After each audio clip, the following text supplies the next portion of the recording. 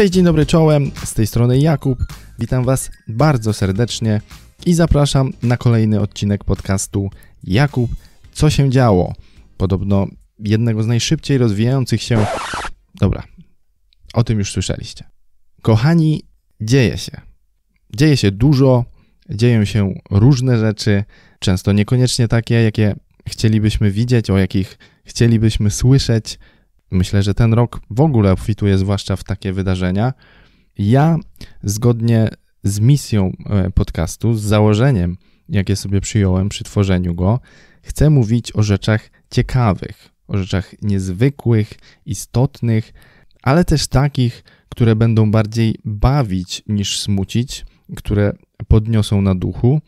Tym właśnie kieruję się przy wyborze tematów do odcinka. Nie zawsze tak się da, ale staram się.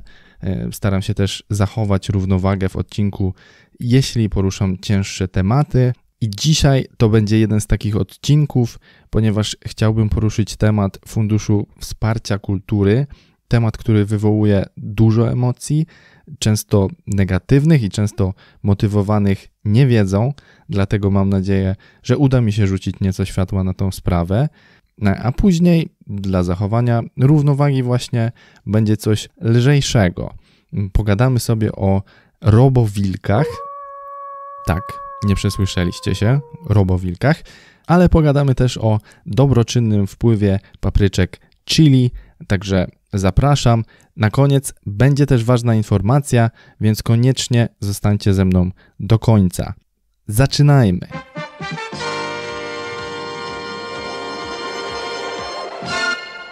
Bracia Golec pier...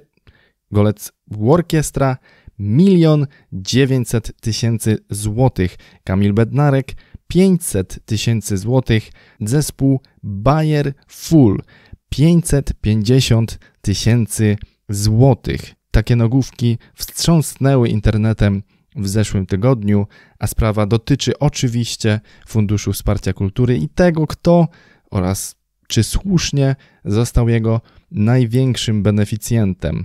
No, jak na razie nie został jeszcze nikt, ponieważ wypłaty zapomóg zostały na ten moment wstrzymane.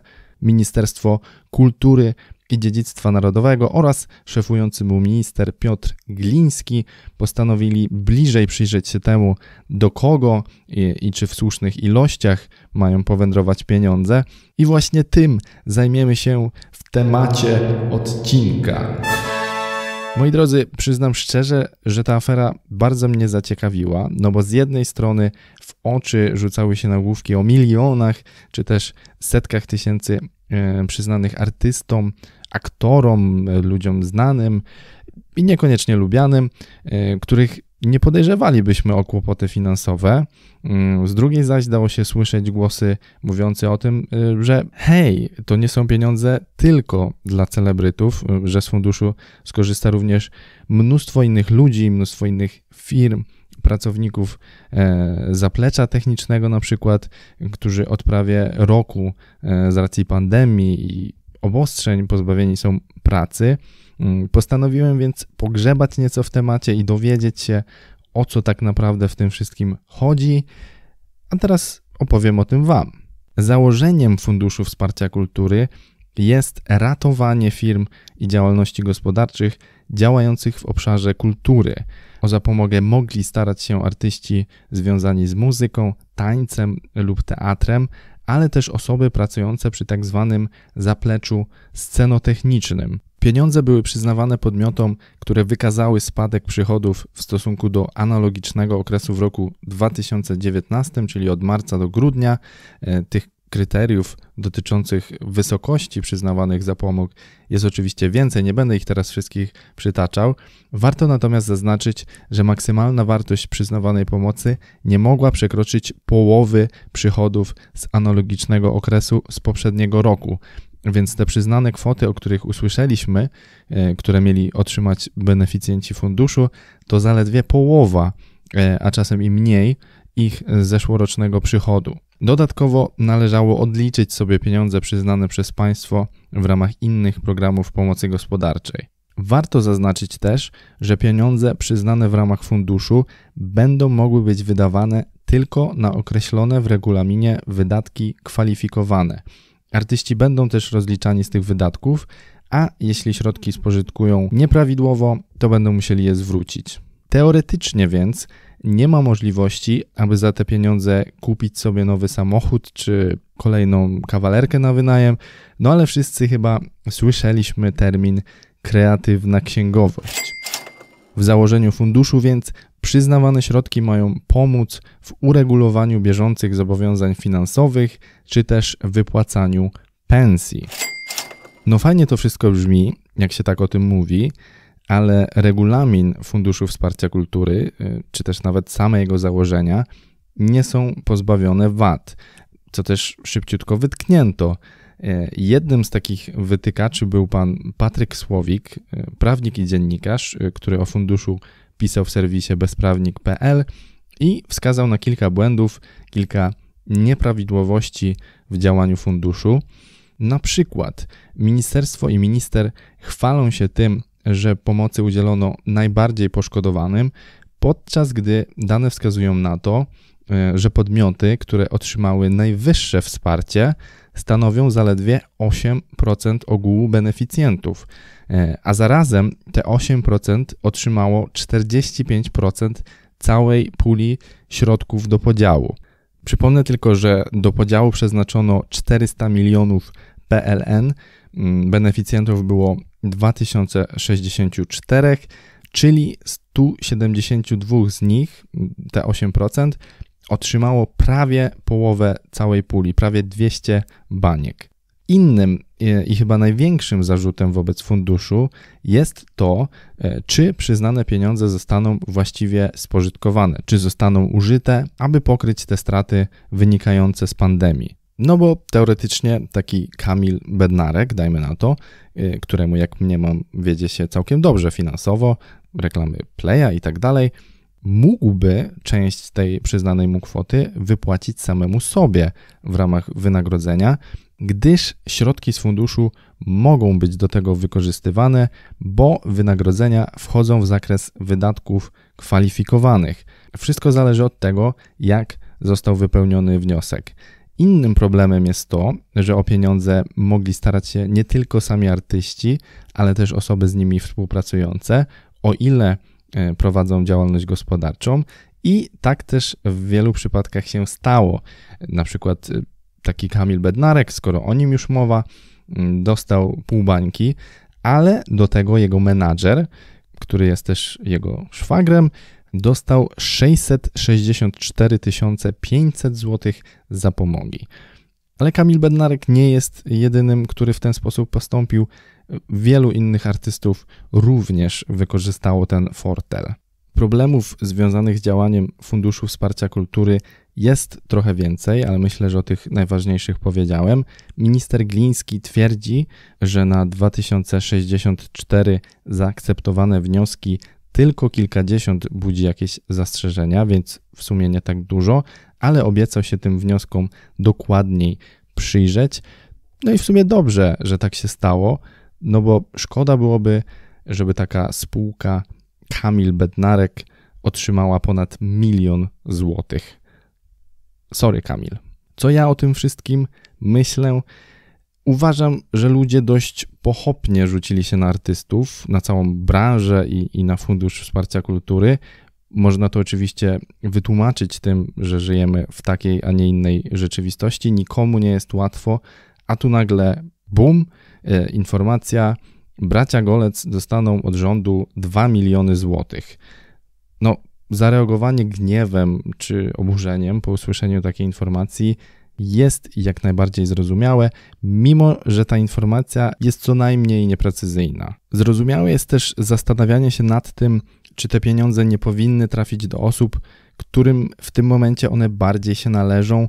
Mówi się o tym, że lekarze, pielęgniarki, ratownicy medyczni, wszyscy pracownicy służby zdrowia są teraz srogo niedopłacani, a stoją oni na froncie walki z pandemią. I takie rozumowanie również jest uzasadnione. Służba zdrowia działa na 200% od wielu już miesięcy, e, a mimo to wsparcie rządu jest niewielkie. Dopiero niedawno przyznano im podwyżki. pomóżmy zatem służbie zdrowia. Tylko, że zupełnie inaczej spojrzymy na sprawę, jeśli postawimy się na miejscu tych osób, które w założeniu Fundusz e, Wsparcia Kultury miał e, czy też ma pomóc. To są osoby, którym decyzje rządu, słuszne czy nie, to jest teraz nieistotne, odebrały możliwość wykonywania zawodu e, i utrzymywania z tego siebie oraz swoich rodzin.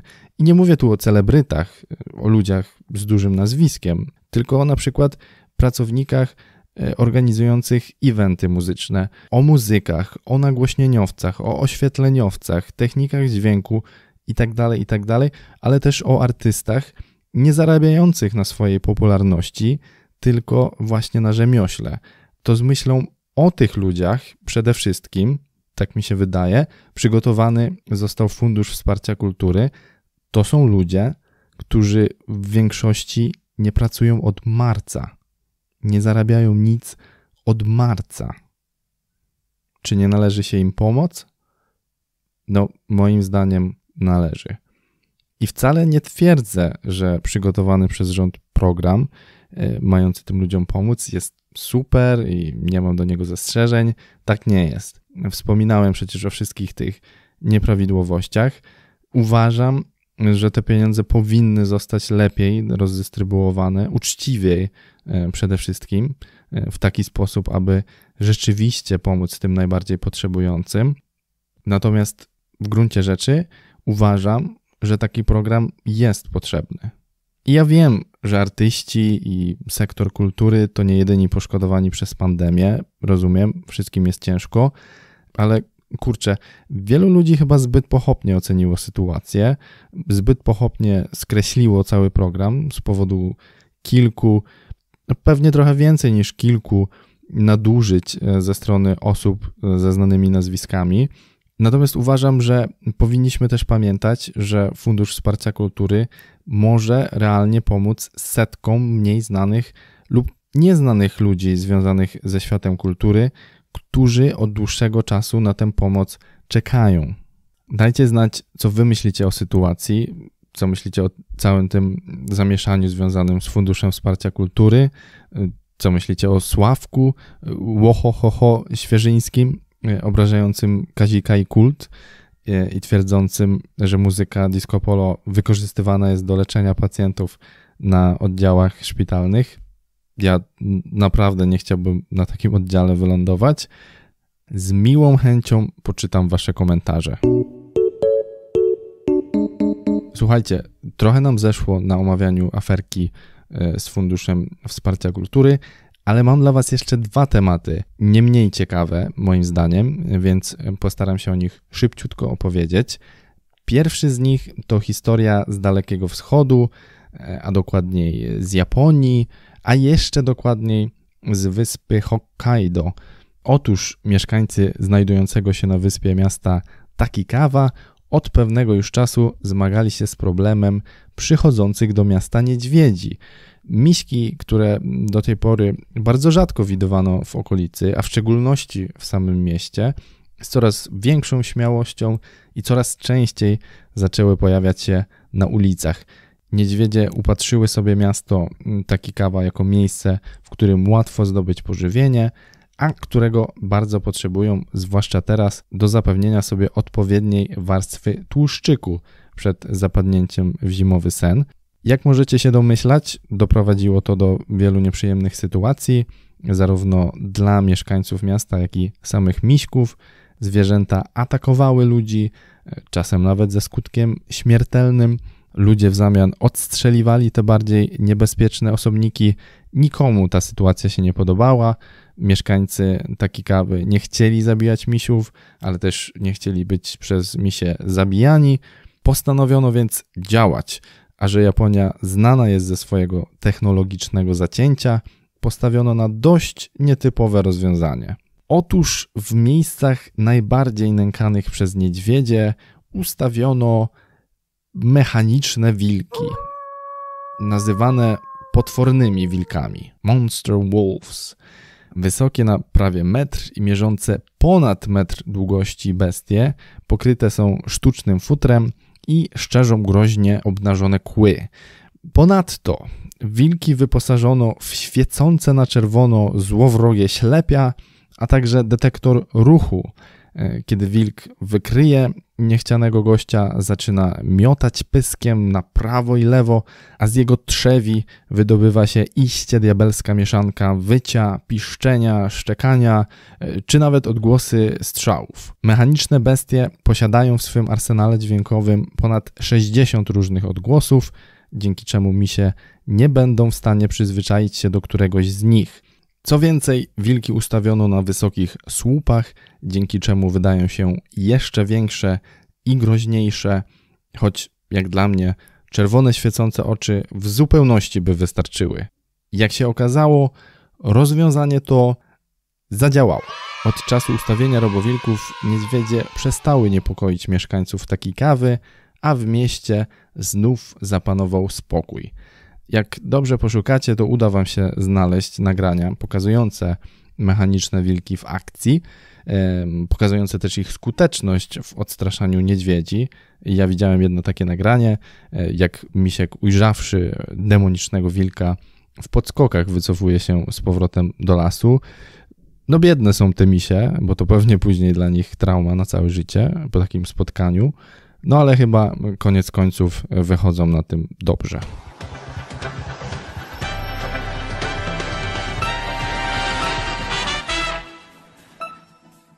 Ale zostawmy już te pocieszne stworzenia. E, przed Państwem kolejny temat i tym razem rzecz będzie się tyczyć zdrowia. Otóż, jak sugerują badania, ludzie regularnie jedzący papryczki chili żyją dłużej. Przyznam, że prozdrowotne działanie papryczek chili było mi już wcześniej znane. Nie kojarzyłem za bardzo w jaki sposób pozytywnie wpływają na zdrowie, ale wiedziałem, że coś tam robią. Teraz natomiast znalazłem potwierdzenie dla tych przypuszczeń. Okazuje się bowiem, że regularne spożywanie chili znacząco obniża ryzyko śmierci na choroby układu krążenia oraz na raka. Tak orzekło na podstawie przeprowadzonej analizy Amerykańskie Stowarzyszenie Kardiologiczne i to nie byle jakiej analizy, ponieważ pod lupę wzięto prawie 5000 prac badawczych, dających dostęp do danych zdrowotnych oraz dietetycznych bagatela 570 tysięcy osób mieszkających e, w Stanach Zjednoczonych, Włoszech, Chinach czy też Iranie. Dane te pozwoliły na porównanie wyników ludzi jedzących chili z tymi niejedzącymi papryczek w ogóle albo jedzącymi je bardzo rzadko, no i wnioski są następujące. Jedzenie chili o 26% obniża ryzyko śmierci na choroby układu krążenia, o 23% na raka, a jakby tego było mało, ludzie mający w swojej diecie papryczki chili o 25% rzadziej umierają z powodu chorób w ogóle. O ile już wiadomo, że papryczka chili z racji zawartej w niej kapsaicynie ma potwierdzone działanie przeciwzapalne, antyoksydacyjne oraz regulujące poziom glukozy we krwi, tak na razie niejasne jest, w jaki sposób przyczynia się do obniżenia śmiertelności. To pozostaje jeszcze kwestią otwartą. Nie wiadomo też, jaki rodzaj papryczek chili wykazuje takie działanie. Na te pytania badacze będą starali się jeszcze odpowiedzieć. Natomiast jest to kolejny przykład tego, jak e, odpowiednia dieta może wpłynąć na zdrowie. Ja bardzo się cieszę, że padło akurat na papryczki chili. W ogóle to jest takie słodkie, że mówimy zdrobniale, papryczki, e, jak odnosimy się do chili. E, no ale cieszę się, że padło właśnie na nie, ponieważ lubię chili. Wykorzystujemy papryczki dość często w kuchni z Aldonką do różnych potraw wiadomo, na ostro najlepiej. E, no. Teraz natomiast chciałbym przeczytać takie badanie o prozdrowotnym wpływie, na przykład czekolady Milki, e, tej z herbatnikami Lu, Kinder Bueno, pizzy i powiedzmy paprykowych chipsów e, Lay's prosto z pieca.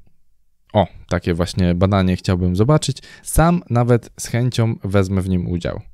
Naukowcy, wiecie gdzie pisać. I to już wszystko na dziś. Dzięki, że zostaliście ze mną do końca. Mam nadzieję, że odcinek Wam się spodobał, a jeśli rzeczywiście tak jest, to koniecznie dajcie mi o tym znać. Komentujcie, piszcie na maila albo odezwijcie się do mnie gdzieś na mediach społecznościowych. Nie trudno mnie znaleźć. Na wszystkich platformach dostępny jestem jako Jakub P. A teraz zapowiadana ważna informacja.